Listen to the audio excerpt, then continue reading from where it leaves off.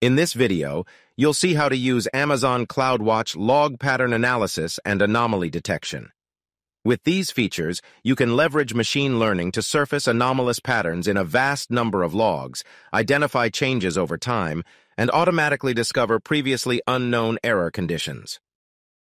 This is CloudWatch Log Insights, where we can investigate our log data when we've been notified of an issue with our application. To get started, let's run a sample query. We'll select the application's log group.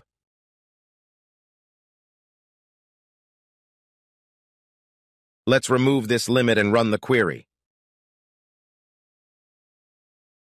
There are thousands of log results from the last hour alone. There's valuable information here, but it can be difficult to parse the text at scale and identify problems.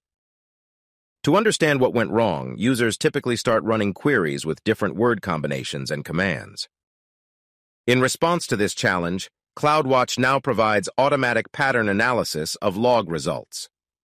Using machine learning, the feature analyzes log events for common or repeating text structures and identifies patterns. For example, the repeating text, testing Unicode compatibility, will be identified as a pattern. Let's open the Patterns tab. Whenever a Logs Insights query is run, the identified patterns appear here. In this case, out of thousands of individual log events, we have 26 patterns. The first pattern is the testing Unicode compatibility text we just saw. Within the pattern, asterisks indicate tokens, which are dynamic or variable components, such as timestamps within the log events. We're also provided with the event count for that pattern during the query period the percentage of all event results associated with that pattern, and the severity type. With fewer results to sift through, we can quickly look for keywords such as error without having to modify or write a query. To learn more about a pattern, we can open the Pattern Inspect view. A histogram shows when log events matching this pattern occurred. We can review examples of the raw log events that contributed to this pattern. For instance, these samples show the details of failed request processing attempts. The next tab shows the actual token values. In this pattern, the first token is a timestamp.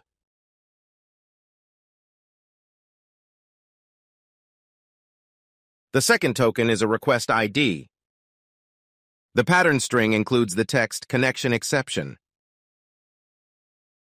To learn more, we can look at related patterns. Related patterns are ones that occurred at or around the same time as the pattern we're currently analyzing.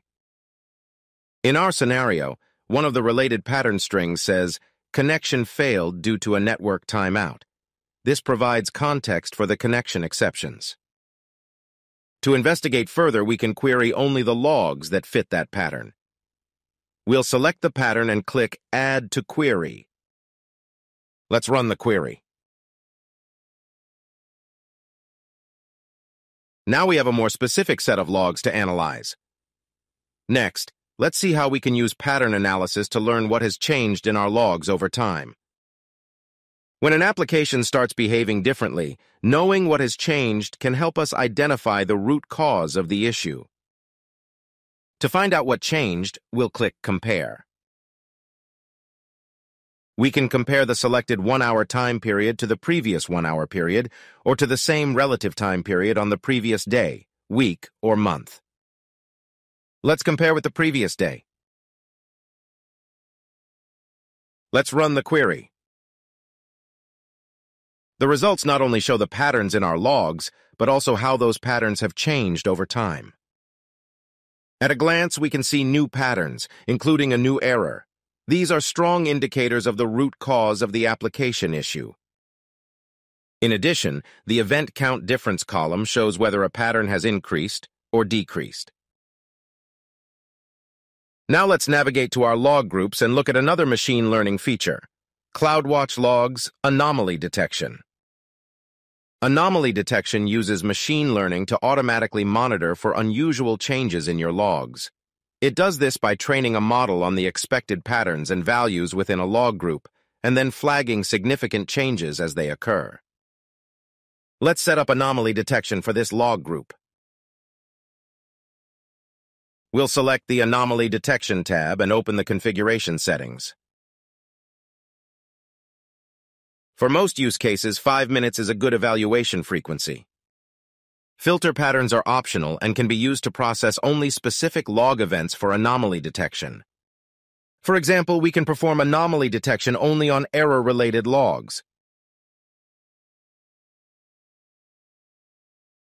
Advanced configuration is also optional. Here, we can set how long an anomaly will be visible before being baselined. As soon as we activate anomaly detection, the machine learning model begins training on the log data coming into this application to create a baseline. After that, any unusual behavior in this log group will be surfaced as an anomaly. Let's activate the feature. We can see that training has already begun.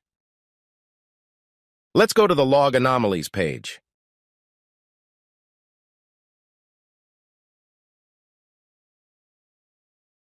The first column provides a description of the anomaly. Next, we see the log pattern associated with the anomaly.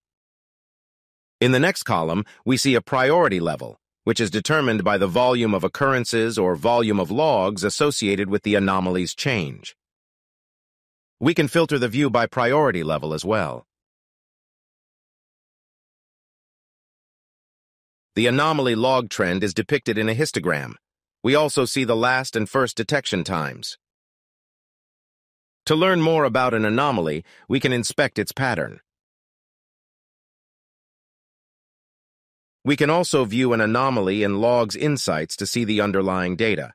Furthermore, for our most critical applications, we can configure a CloudWatch alarm on an anomaly. You've just seen how to use Amazon CloudWatch pattern analysis and log anomaly detection. You can learn more about this topic in the description and links for this video. Thanks for watching. Now it's your turn to try.